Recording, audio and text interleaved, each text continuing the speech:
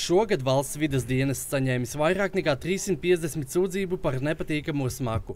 Vietējie iedzīvotāji uzsver, ka šogad smaka kļuvusi pavisam neciešama. Par to viņi ziņo visu laiku, taču nejūt uzlabojumus. Šogad pirmais gads, nu tas ir ārprāts.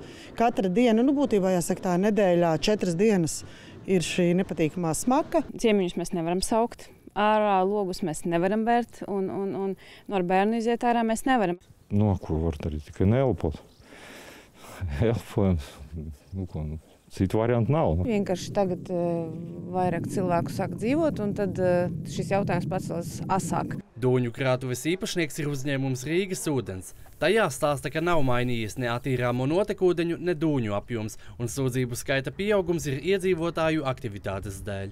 Otra lieta, jā, arī māju skaits tur ir tomēr pieaudzis, jo jāatgādina, ka šīs dūņu krātuves tur ir jau 30 gadus. Tātad šī vieta tolaik tika izvēlēta pēc dažādu ekspertu atzinumu. Abūta tur nebija blīva. Mārupes novada priekšsēdētājs, kurš savulaik vadījis arī Babītes pagastu, stāsta, ka 90. gadu sākumā Dūņu laukos notika pārveide un samazināta tika arī aizsargjosla, kurā aizliegts celt dzīvojamās mājas. 91. gada beigās un 92. gadā tika veikta liela rekonstrukcija, kas samazināja aizsargu joslu no kilometra līdz 300 metriem. Kā uzbūvēja šos augstos, augstos vaļņus priekšā, un droši vien bija izdomājuši, ka nebūs tā smaka, un arī tehnoloģija bija savādāka. Ja?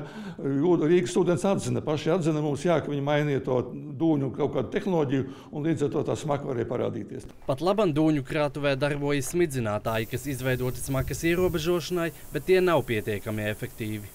Tas tiek risināts ar visdažādākajiem tehniskajiem risinājumiem, modernākajiem, bieži, dažādi, daudz bet, kā redzams, joprojām nepietiekami. Uzņēmums nācis klajā ar citiem īstermiņa un ilgtermiņa risinājumiem.